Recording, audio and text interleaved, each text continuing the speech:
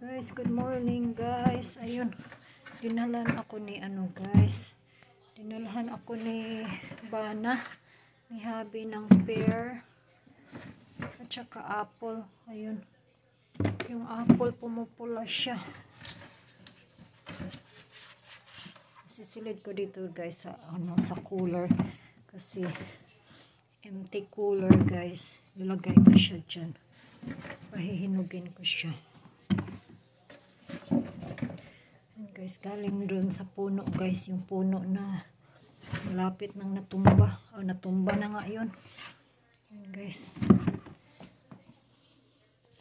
Yan, sarap nito guys. Very crunchy.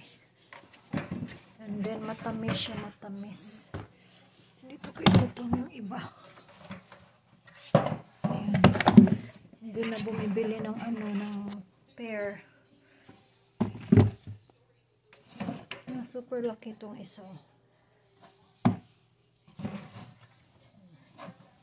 Pumunta kasi siya doon last week.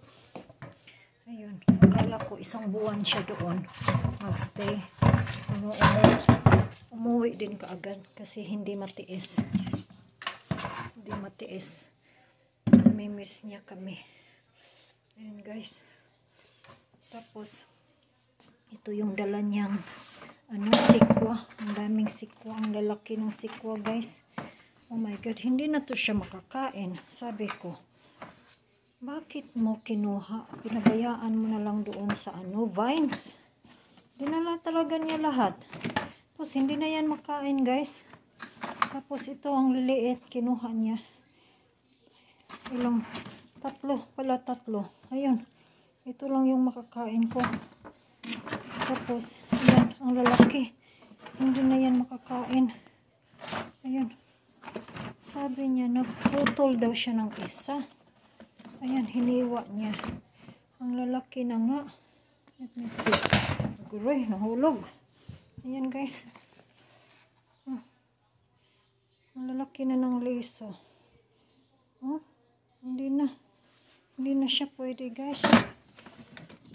Hindi na pwede na.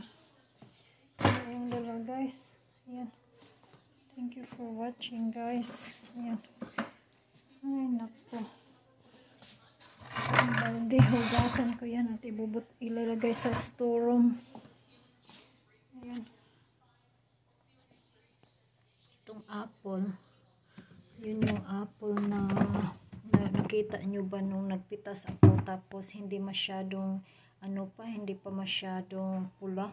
Ayun, pumupula na siya kasi nag-iwan siya ng konti. Ayun, para sa birds daw. Pero hindi, oh, malamig na. Ayun mga, may kinainan ng bird, oh. Hiwain ko yan. Ayan guys, thank you.